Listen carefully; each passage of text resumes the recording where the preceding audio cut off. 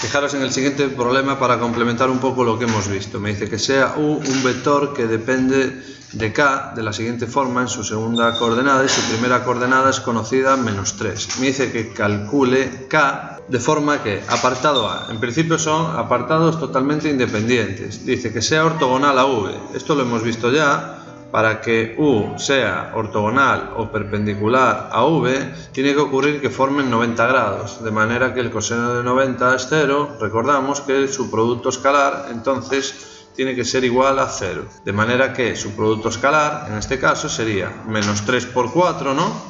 Que sería menos 12, recordar primera componente por primera componente, más, en este caso, k por menos 6, que sería menos 6k. Y esto tiene que ser igual a 0.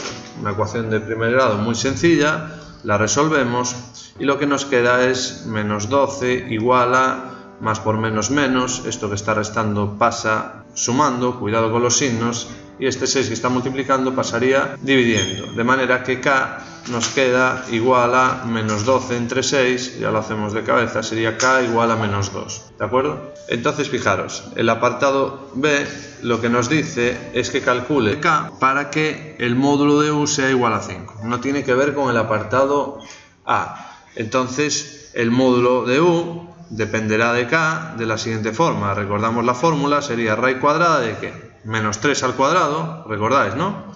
k al cuadrado, y esto me dice que tiene que ser igual a 5. Entonces me queda una ecuación con raíces que hemos visto también, y así repasamos. Elevamos al cuadrado uno y otro miembro, y me queda aquí 25, de manera que k al cuadrado será igual a 25 menos 9, que es 16. Entonces k puede tener dos valores, k igual a 4 o k igual a menos 4. El apartado C nos dice que si somos capaces de calcular k de manera que u sea 5 veces el módulo de v. Si el módulo de u, que hemos visto ya, que es 9 más k al cuadrado con su raíz, tiene que ser igual a 5 veces el módulo de v.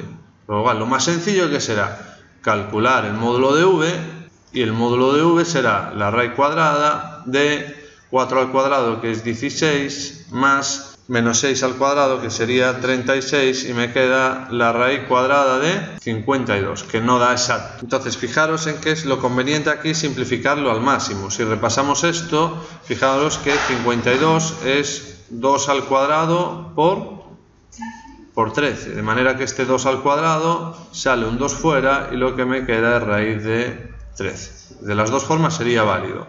Entonces esto tiene que ser igual a esto de aquí o a otra cosa. 5 veces eso.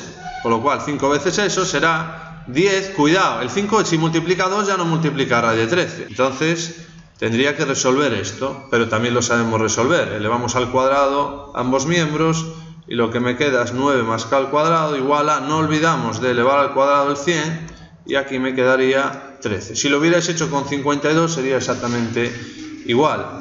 Entonces lo que me queda es que k al cuadrado tiene que ser igual a 1300, hacemos el cálculo rápido, menos 9, k al cuadrado es igual a 291, ¿no? Y ahora k sería raíz cuadrada de 1291, más menos raíz de 1291. Entonces, y ahora vamos a ver si el D tiene solución.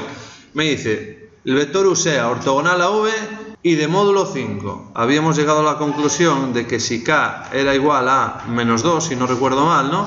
que el vector menos 3 menos 2 era ortogonal a v. Pero recordar que si yo tengo, por ejemplo, el vector v, nos imaginamos que estuviera aquí y el menos 3 menos 2 es ortogonal, es simplemente que forma 90 grados. De manera que cualquier múltiplo de este también seguirá formando 90 grados con v, con lo cual esto lo que nos da es un vector, pero en verdad hay una colección x por 3 menos 2 infinita de vectores que siguen siendo ortogonales a v y x simplemente será positivo o negativo y me marcará si siguen el mismo sentido de u o sentido contrario, pero siguen teniendo la misma dirección, con lo cual siguen siendo ortogonales. Entonces, este tipo de vectores serían menos 3x menos 2x, siendo x cualquier número real, tanto positivo como negativo.